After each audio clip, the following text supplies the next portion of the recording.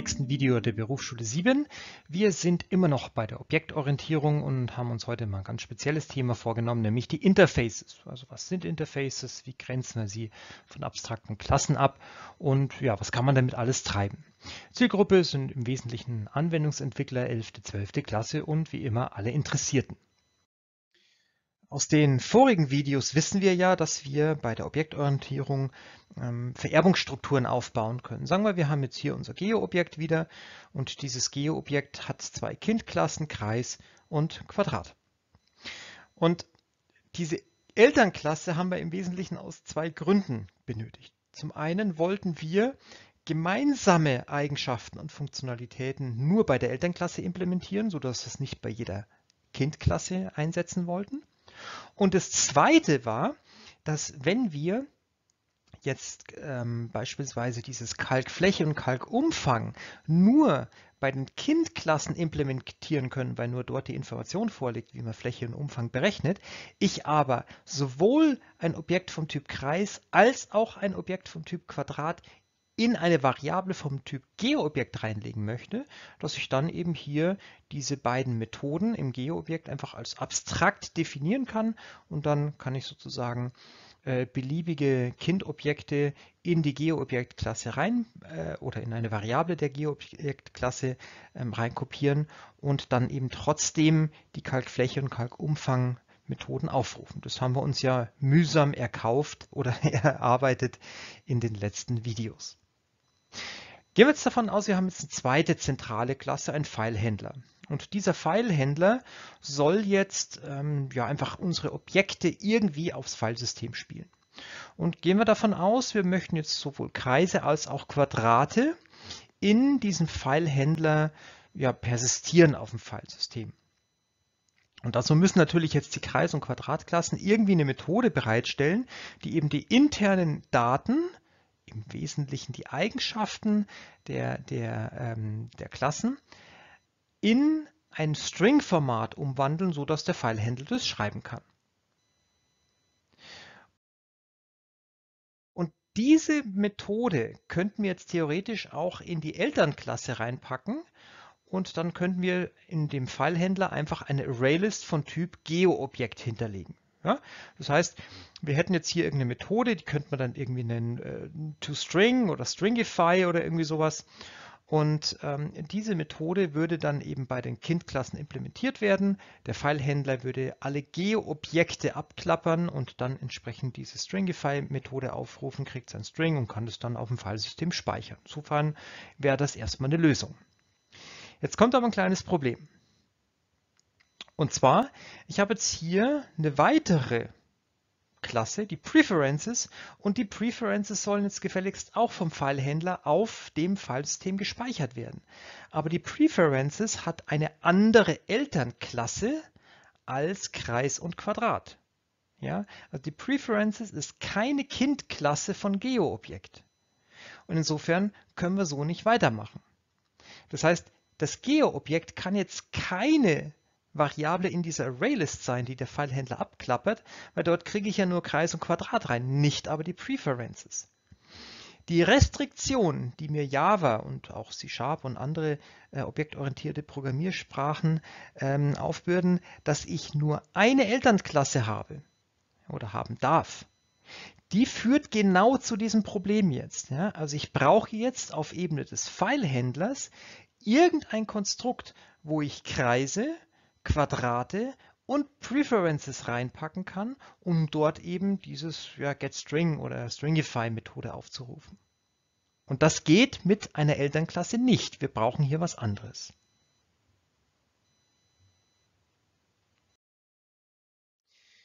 Die Lösung für dieses Problem ist eine sogenannte Schnittstelle. Ja? Und diese Schnittstelle würde, jetzt, würde ich jetzt Writable nennen. Und eine Schnittstelle ist jetzt nichts anderes wie eine Spezifikation, was vorhanden sein muss. Ja, in unserem Fall jetzt get string representation oder stringify, wie auch immer man das nennen möchte. Das heißt, in dem Interface steht nur eine Methodensignatur drin, ohne Rumpf, also eigentlich genauso wie in einer abstrakten Klasse. und mehr nicht.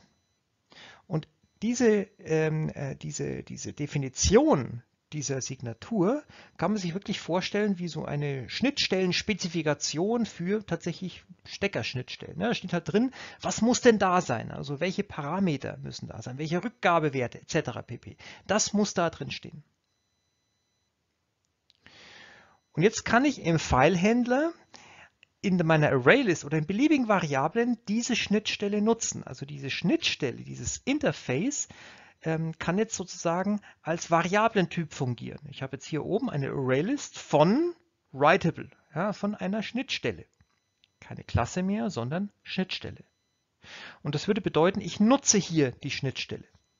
Und in UML würde man das Ganze dann hier mit so einem gestrichelten Pfeil dann eben simulieren oder modellieren.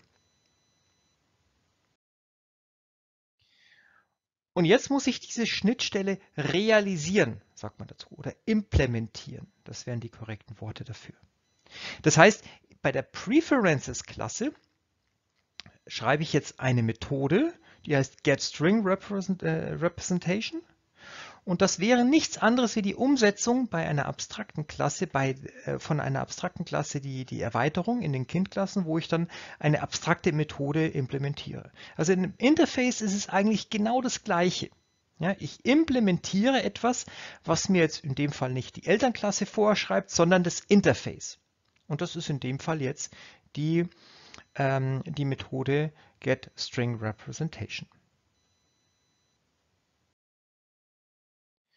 Und genauso kann ich jetzt auf der anderen Seite, also bei, meinem, bei meiner anderen Familie sozusagen, der Geo-Objektfamilie, diese, dieses Interface jetzt implementieren. Und ich kann das jetzt bei der Elternklasse machen. Ja, das, wenn ich die Informationen für dieses getStringRepresentation bei der Elternklasse hätte, konnte ich, könnte ich es da einbauen. Ich kann aber auch sagen, nö, ich mache das abstrakt. Das ist hier eine abstrakte Klasse und diese getStringRepresentation ist jetzt einfach ähm, ein, eine abstrakte Methode. Oder ich kann sie auch einfach weglassen. Ja? Und dann, weil die GeoObjekt-Klasse ist ja abstrakt, hat sozusagen Kindklassen. Und dann würde ich die Umsetzung dieser, dieses Interfaces einfach bei den Kindklassen realisieren. Das heißt, hier würde ich jetzt die Realisierung der geforderten Schnittstelle ähm, einbauen und dann muss ich das nicht in der abstrakten Elternklasse explizit nochmal hinterlegen. Ja, und das würde man dann eben ähm, genau so auch äh, modellieren. Auch vom UML wäre es okay, dass die gestrichelte Linie jetzt zu den Eltern geht, weil sie ja eben entsprechend abstrakt ist. Dann gucken wir uns den Code dazu mal an. Das Schlüsselwort ist Interface. Okay, Glück gehabt, muss man nichts Neues lernen. Das Interface wird einfach mit Interface benannt. Und äh, das kommt auch in ein eigenes File rein, genauso wie die Klasse. Also in dem Fall unterscheidet sich es nicht. Anstatt Public Class steht jetzt hier Public Interface. Dann kommt der Name, auch Großbuchstaben in Java oder Uppercase. Und ja, das wäre es so im Wesentlichen. Und danach kommt die Detaillierung des Interfaces. Hier kommen jetzt quasi zwischen diesen geschweiften Klammern beliebig viele Methodensignaturen. Und das sind erstmal nur Methodensignaturen. Man kann in Interfaces auch statische Methoden und ähm, Konstanten reinpacken. Ähm, das hängt jetzt immer davon ab, wie man programmieren will. Es gibt Programmierer, die sagen, das ist kein guter Stil. Andere sagen, hey, da spare ich mir wieder woanders Code. Das muss jeder für sich selber entscheiden. Fakt ist, es geht. Man kann statische ähm, Methoden und Informationen hinterlegen. Was nicht geht, sind ähm, irgendwelche nicht statischen Elemente, äh, weil, weil wir Interfaces nicht direkt instanzieren können. Gut, ja, und ja, dann geht es weiter. Was können wir noch oder was, was müssen, worauf müssen wir noch achten? Auf jeden Fall mal, dass wir hier keine Zugriffsspezifizierer haben. Und der Grund ist ganz einfach der, dass äh, wir die Interfaces ja darum bauen, weil wir mit externen Klassen interagieren wollen. Und die, das heißt, es würde jetzt keinen Sinn machen, hier irgendwelche Private-Elemente reinzupacken. Das heißt, Interface-Methoden werden immer public implementiert. So, die Klassen wiederum, die ein Interface implementieren, schreiben hier Implements Writable jetzt rein. Und hier kann ich jetzt beliebig viele ähm, Interfaces implementieren. Also ich kann jetzt mit Komma getrennt andere Interfaces hier reinschreiben.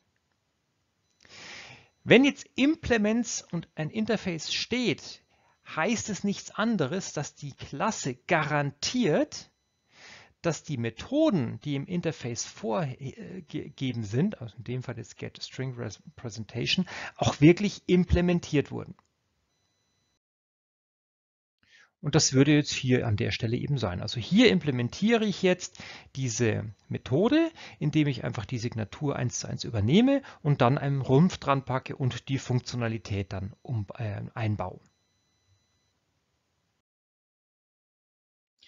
Und gleiches gilt jetzt hier bei den anderen Klassen. In dem Fall wäre es jetzt hier die, das Geo-Objekt oder wir haben ja auch gesagt, das Ganze kann eben abstrakt stattfinden.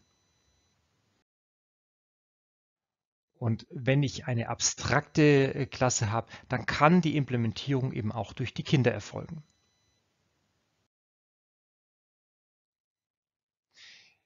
So, dann schauen wir uns den Filehändler an. Der nutzt jetzt diese, dieses Interface. Und ähm, er sagt jetzt einfach, hier gehe ich jetzt über eine For-Each-Schleife beispielsweise, über die ArrayList drüber.